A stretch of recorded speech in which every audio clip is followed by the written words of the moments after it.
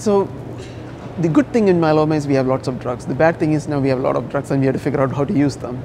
The, we, what, what we currently use in patients with newly diagnosed myeloma is a combination of a proteasome inhibitor and immunomodulatory drug as the initial treatment. And that is based on very sound data from phase 3 trials. So that is the starting point. But what is happening is there's uh, five other phase 3 trials that are ongoing which are looking at either ixazomib, elotuzumab, daratumumab and pembrolizumab uh, in, in, in combination with lenalidomide to, uh, to explore them in the setting of newly diagnosed myeloma. So right now the initial treatment is easy because there's only one combination which we all agree on.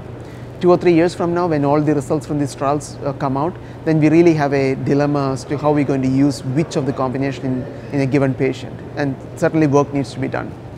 In terms of when patients relapse, I think we still have uh, a lot of choices from the phase 3 trials that I've already read out. So the question then uh, is what drug is the patient coming off? So if somebody is coming off a lenalidomide maintenance, we want to try and use a combination which includes a proteasome inhibitor and now with the monoclonal antibody. So a combination like daratumumab, bortezomib, dexamethasone would be a good choice.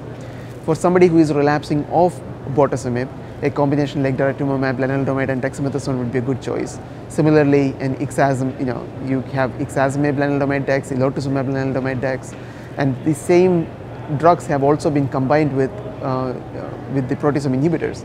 So I think you have a whole gamut of permutation combination that we can use, but the guiding principle should be what drugs are they refractory to, what drugs they got before, and what are the residual toxicities from the prior therapy, and we need to factor those into the treatment decision making. We also need to look at the performance status of the patients. So if the patient's young and fit, fit, then we can give them probably the more aggressive combinations. If it's a frail older patients, we may have to go with one drug or a couple of drugs. So there's a lot of variables that goes into deciding how are we going to sequence the drugs, what they got before, performance status. So patient, disease, both have to be taken into consideration.